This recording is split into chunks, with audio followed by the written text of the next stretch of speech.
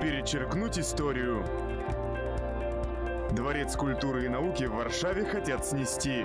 Почему? Сталинская высотка – подарок республике от СССР. Глава МИДа Польши Мариуш Блащак заявил, что здание – символ советского доминирования.